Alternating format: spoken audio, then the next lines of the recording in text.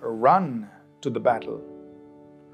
1 Samuel chapter 17, verses 45 to 48. Then David said to the Philistine, You come to me with a sword, with a spear, and with a javelin, but I come to you in the name of the Lord of hosts, the God of the armies of Israel, whom you have defied. This day the Lord will deliver you into my hand, and I will strike you and take your head from you. And this day I will give the carcasses of the camp of the Philistines to the birds of the air and the wild beasts of the earth, that all the earth may know that there is a God in Israel. Then all this assembly shall know that the Lord does not save with sword or and spear, for the battle is the Lord's, and he will give you into our hands. So it was when the Philistine arose and came and drew near to meet David that David hurried and ran toward the army to meet the Philistine. What an amazing picture here of David. Just a shepherd boy going out into battle to face Goliath, a man who must have been thoroughly trained in battle, a man who's come there uh, with his enormous size, fully armed, with an armor bearer, uh, with an army backing him up. Uh, all David has is an army that's sulking, that's afraid, that's probably hiding. And here David seemingly all alone.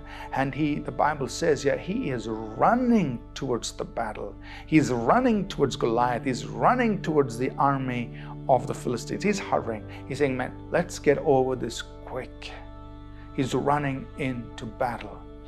And he is announcing so confidently, I will, I will, I will, I will defeat you, Goliath, and not just you. I will defeat the entire army of the Philistines today. I will give your carcasses to the birds of the air. Why? Because God is with me, and therefore I'm running into battle. I want to encourage you from this narrative about David. You run into your battle don't withdraw. Don't back off. Don't hide. Don't be afraid. Face your fears. Face your giant. Face whatever opposition comes. You run into battle because God is on your side. The battle is not yours, but the Lord's. But He needs you to move into your position in battle. Through God, you will do valiantly. It is God who always causes you to triumph. So, knowing this truth, run into battle. Face up to what you need to face up. Fight against what you need to fight. You're fighting against enemy forces. You're fighting against the powers of darkness. You're fighting against an enemy who wants to stop your destiny. You're fighting against an enemy who wants to rob your faith. You're fighting against an enemy who wants to hinder the purposes of God in your life. You're fighting against an enemy who wants to rob you of the promises of God. But now you run to battle. Take this head on because God is with you. Don't draw back. Let's pray. Father, we pray that courage will fill our hearts, that we will stand strong, stand tall, and run into the battle, knowing that through our God we will do valiantly. We choose to win.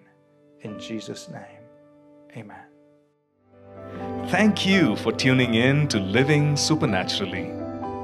For more resources to strengthen your spiritual walk, please visit apcwo.org